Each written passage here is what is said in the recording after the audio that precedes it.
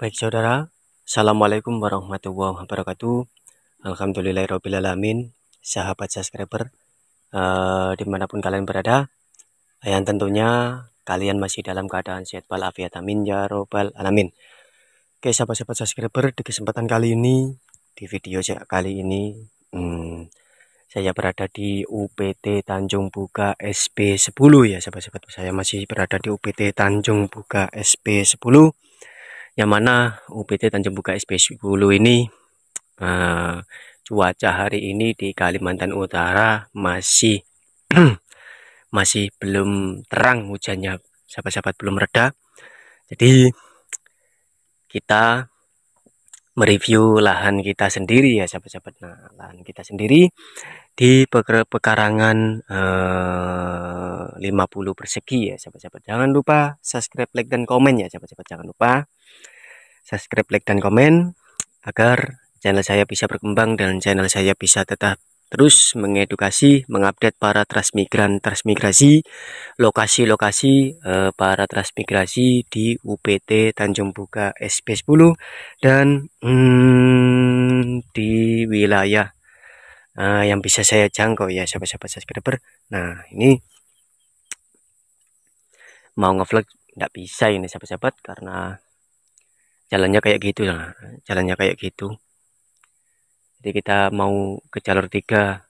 Tidak jadi hari ini mungkin uh, besok pagi saya bisa ke sana ya sahabat-sahabat. Nah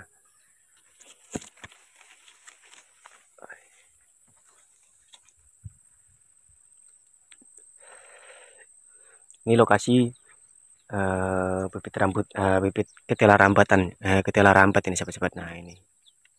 Seluas ini. Mau panen.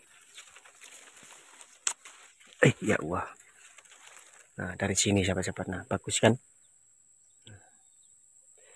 Telah rambat ini berumur sekitaran satu bulan setengah ini sahabat-sahabat sudah satu bulan setengah mencoba menanam uh, sayuran di pasang surut.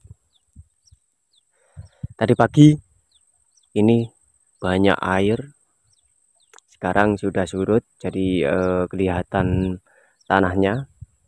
Nah, sahabat-sahabat subscriber nah itu ada bapak saya di sana itu mau ngapain? Dan di sana juga hmm, di sebelah sana itu oh, ada tanaman eh, timun sahabat-sahabat. Nah nanti kita ke sana. Kita ke sana melihat perkembangan timun sudah berapa hari ini kira-kira ya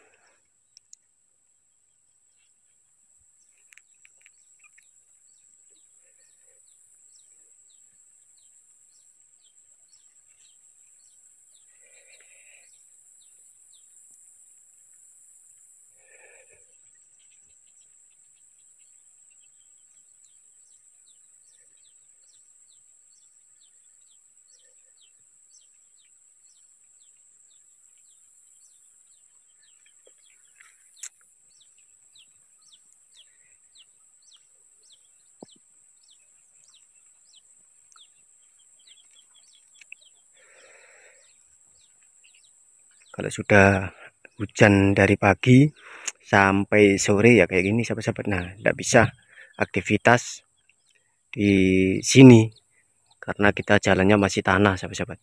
Jadi kena air. Jadi kalau mau jalan jauh banget.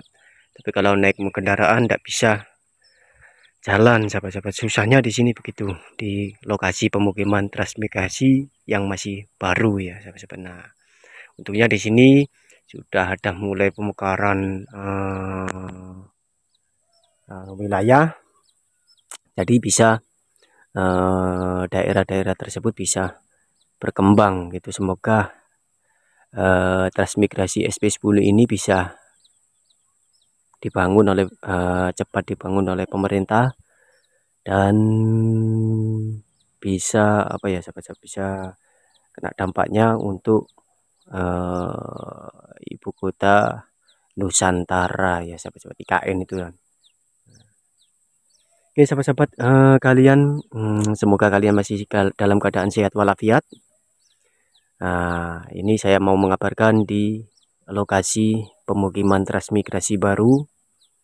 Saya sekarang sudah berada di lahan saya sendiri di jalur satu ya sahabat-sahabat. Di jalur satu karena di sini eh, tanah masih pH-nya masih tinggi sahabat-sahabat, masih tinggi, masih subur ke tingkat tingkat suburannya itu masih uh, tinggi betul.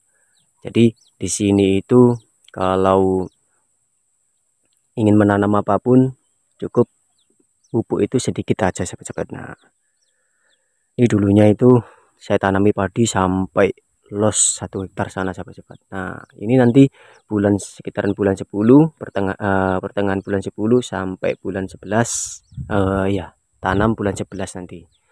Sudah mulai tanam padi ini sahabat-sahabat nah ini sembari menunggu tanam padi kita tanami uh, sayur-sayuran atau ketela rambat atau timun.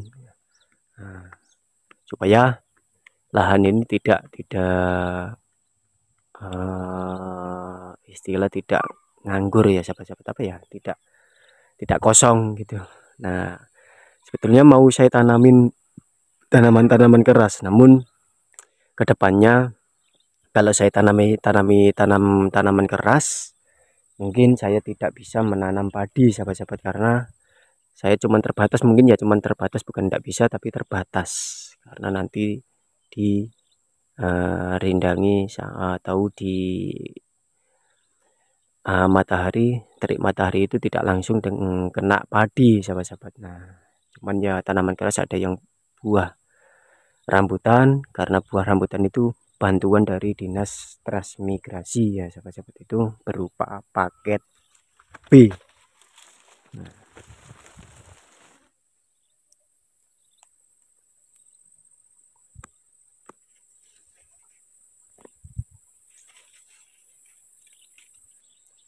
Nah, ini saya mau akan menuju ke uh, tanaman timun.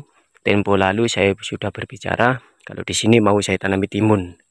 Nah, ini kita lihat timunnya. Nah, itu sahabat-sahabat. Nah, ini timun baru berumur satu bulan, oh, belum ada satu bulan ini.